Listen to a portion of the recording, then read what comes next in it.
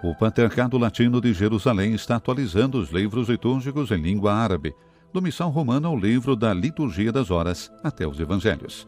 O escritório litúrgico da Diocese iniciou esse trabalho contando com a colaboração de Frei Bajat Karkash, franciscano de Damasco.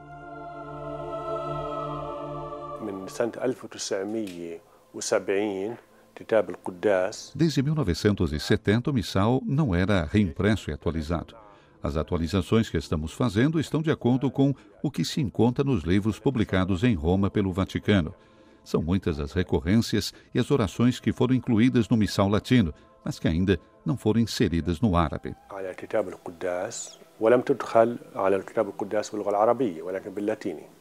Dentro dessa obra, por exemplo, no missal, a frase Bem-aventurados os convidados à ceia do Senhor foi substituída por Bem-aventurados os convidados à ceia do Cordeiro. Quanto ao livro da Liturgia das Horas, o padre Aziz explica. O antigo livro de orações consistia em um único capítulo dividido em duas sessões, uma dedicada aos salmos e outras leituras. Hoje, o livro está dividido em quatro partes e está de acordo com os tempos litúrgicos. Os evangelhos em árabe, por outro lado, são uma novidade. Para nós, é um novo livro. Antes tínhamos apenas o lecionário, que contém a primeira leitura, a segunda, o salmo e uma passagem do evangelho. Mas agora, separamos os evangelhos e os colocamos em um único livro, para levá-lo em procissão durante a missa.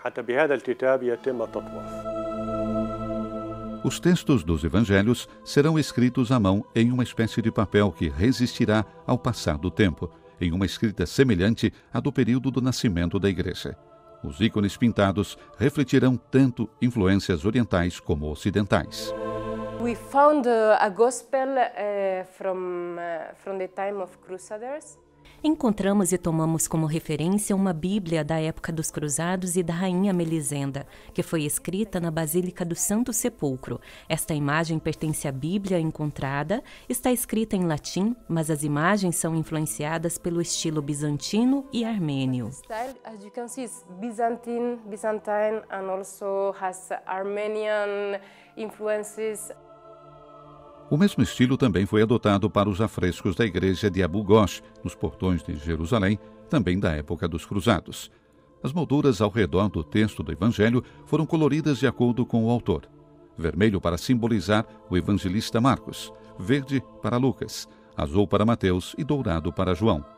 Para pintar essa imagem, Irmã Maria usa o vermelho como um sinal da natureza divina e o azul para a natureza humana.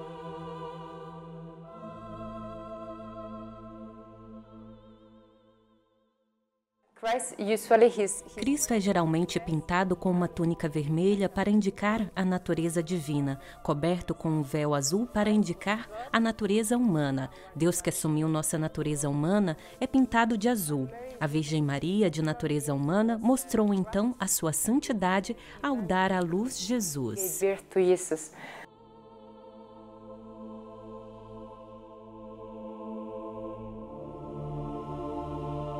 A atualização dos livros litúrgicos continua e nos próximos meses será impresso o primeiro missal, depois o livro da Liturgia das Horas e, por último, os Evangelhos.